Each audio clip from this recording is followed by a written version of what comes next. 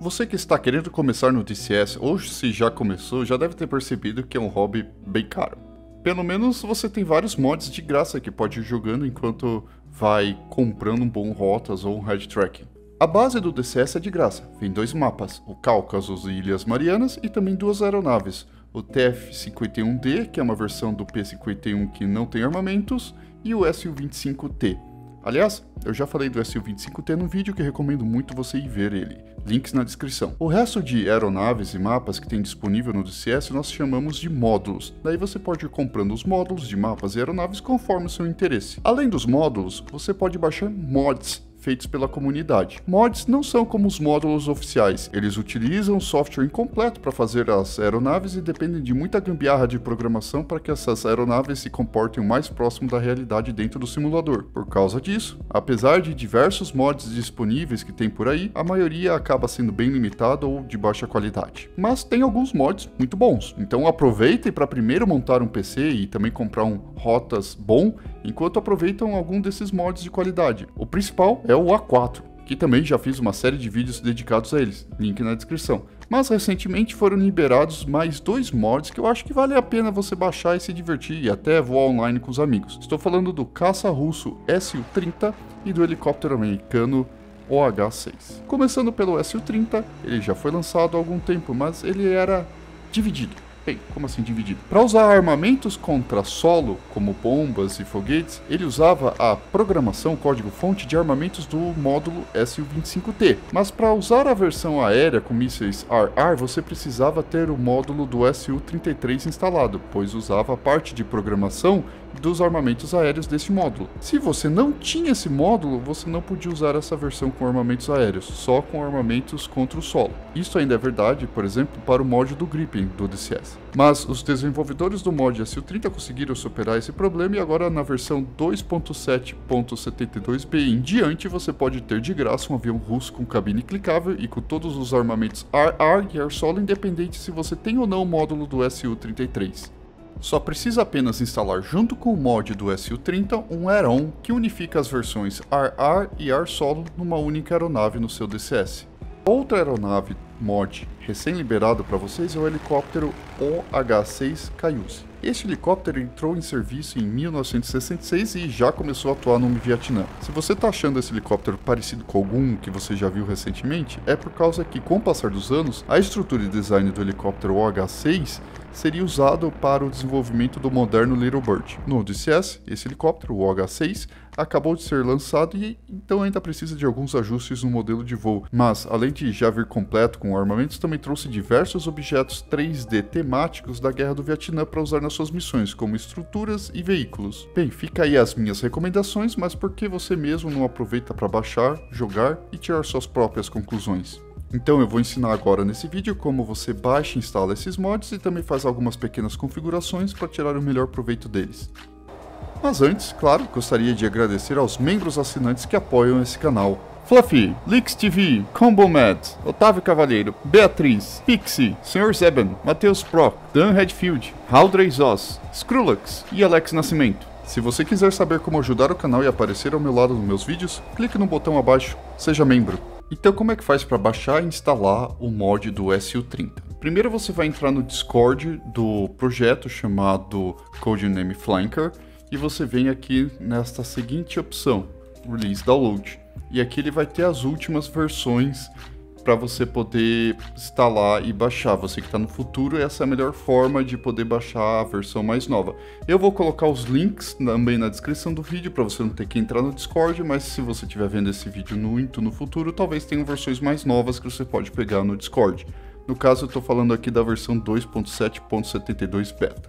Então clica em um desses links, é um link do Google Drive, clica em Download novamente download anyway, porque eu tô falando que é muito grande, 3.2 GB, e eu vou pôr para baixar aqui no desktop do meu computador.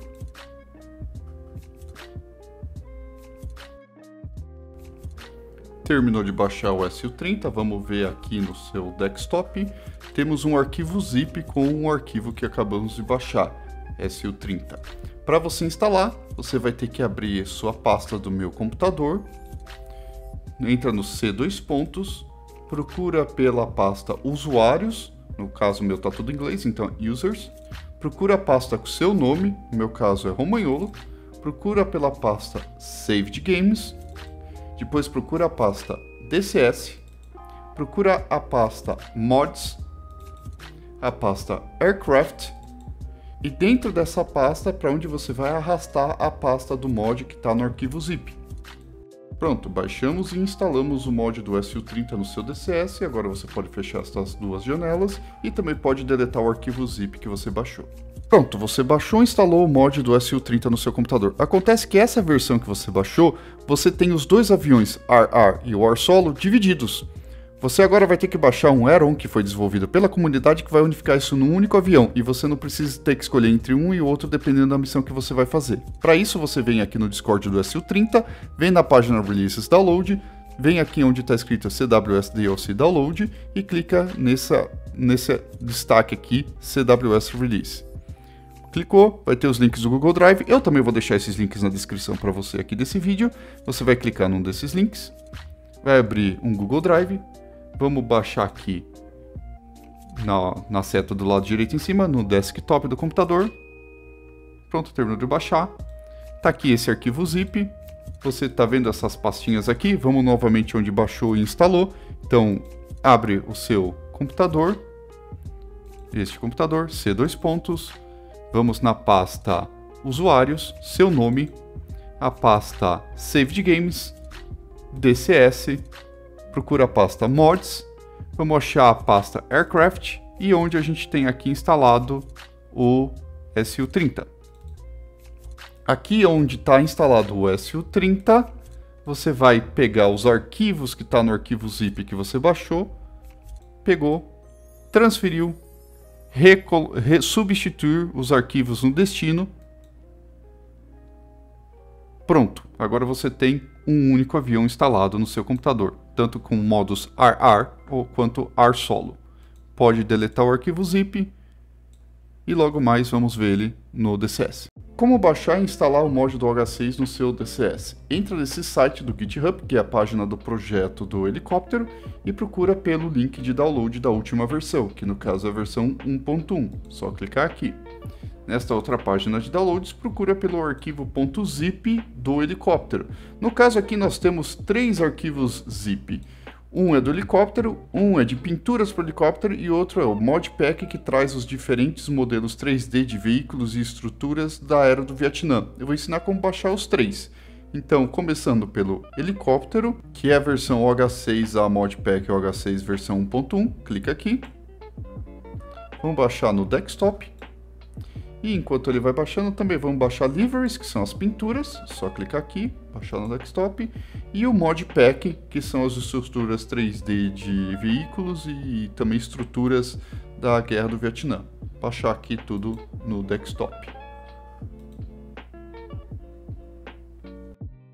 Terminou de baixar, Vamos ver como é que está aqui no nosso desktop. Vamos abrir primeiro e instalar o helicóptero. Então clica dois, duas vezes aqui e vemos que temos duas pastas, mods e scripts. Então vamos na sua pasta do seu computador, desse computador, C2 pontos, usuários, procura pelo seu nome de usuário, no meu caso é Romagnolo, Saved Games, DCS. Aqui dentro dessa pasta é onde estão as pastas mods e scripts. Então você vai pegar essas duas pastas aqui do arquivo zip e arrastar para dentro da pasta DCS que está dentro da pasta Saved Games.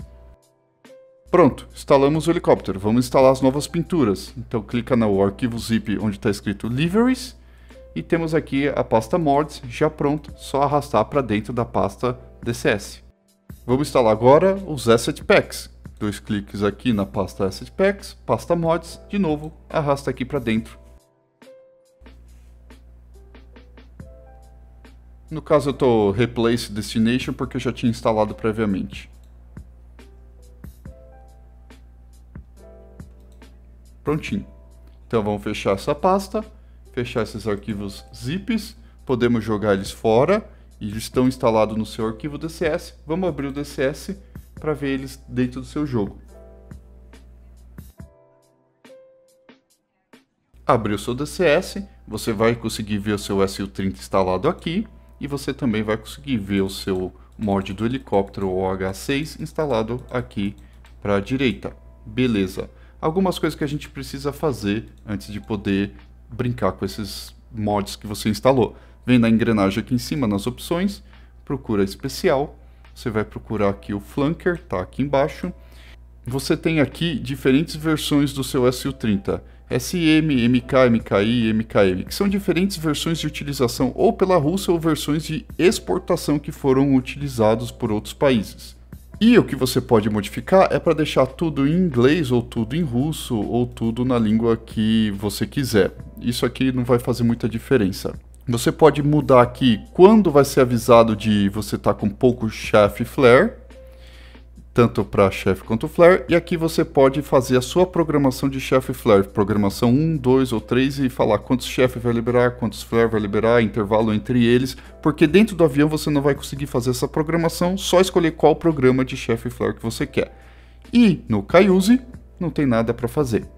Vamos agora no editor de missões, abrir uma missãozinha no Cáucasos, abrir o Cáucasos, eu não vou falar de como editar missões nesse vídeo, eu já fiz um vídeo ensinando o básico para você montar sua missãozinha, clica no link que está na descrição. O que eu quero mostrar aqui para vocês é como acessar o SU-30. Vem aqui no avião do lado esquerdo, clica aqui no mapa, vamos colocar o avião em voo, vamos mudar para a Rússia e aqui embaixo você pode procurar o seu mod do SU-30. Tá aqui embaixo, tá aqui embaixo chegou. São as versões MK, MKI, MKM, por exemplo, a SM eu sei que é a versão russa. E se você for, por exemplo, para a versão MKI, é da versão indiana, então é a versão de exportação, vai ter áudio de as escritas na cabine e os avisos de áudio vão estar tá em inglês, enquanto que da versão russa, os avisos na cabine vão estar tá, áudio vai estar tá em russo e tudo vai estar escrito em cirílico. Agora vamos ver o nosso helicóptero americano, o H6, aqui do lado esquerdo, vamos clicar em, no helicóptero, clicar aqui do lado, vamos colocar Estados Unidos e embaixo aqui vamos procurar o OH6. Temos aqui o OH6, você também pode vir aqui, configurar os armamentos, um gunner do lado, mudar as pinturas que você baixou, junto lá com o que eu mostrei para vocês. Tem até o, o, a pintura do Jurassic Park, eu achei isso sensacional. Mas o mais importante é que para você poder jogar um com um ou com o outro, você tem que vir aqui do lado direito, onde está escrito Skill, e colocar Client, clica no outro, mudar de veterano para Client. Daí quando você inicia a missão, você pode escolher um ou outro.